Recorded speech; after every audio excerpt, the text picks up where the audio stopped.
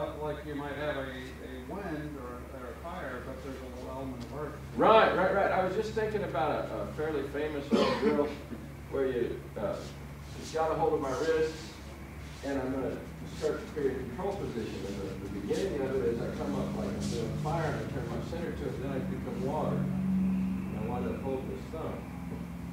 Then I turn my center over here and I do fire again.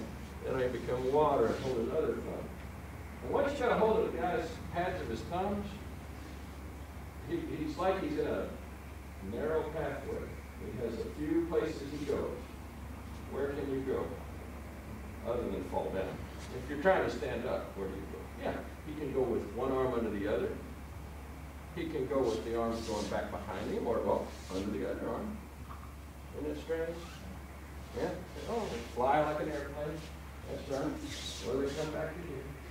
Or it doesn't like that, so it goes here. It goes like behind me. Well, back. It's very weird, huh? And you can hold it with one hand after a little while. You say, what's going on here? Come back and come back. But basically, the way that you get to that is not fire or water, it's fire one, fire one. It has this component of both happening. And if you just try to do it, just fire, fire, you'll never get a grip. And if you just try to do a watery thing, you can't break it strong. You've gotta have all the little elements firing in the sequence to do the right jumps for it. That's a very good observation. Anything else? Cool. Cool. Well, for Jim's, oh yeah, Mark. The short sticks are really fun.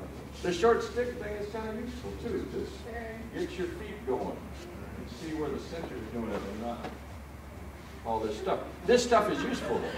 We tend to ignore it. We say it's all in the feet, it's all in the center, it's all this. The hands mean, nothing. No, no, the hands are meaningful too. The delivery of energy point is useful too. It's all useful. So, good stuff. I enjoyed playing with you guys today, so thank you. Glad to have you. Next class, 15 minutes. Stick around, do some more Aikido, or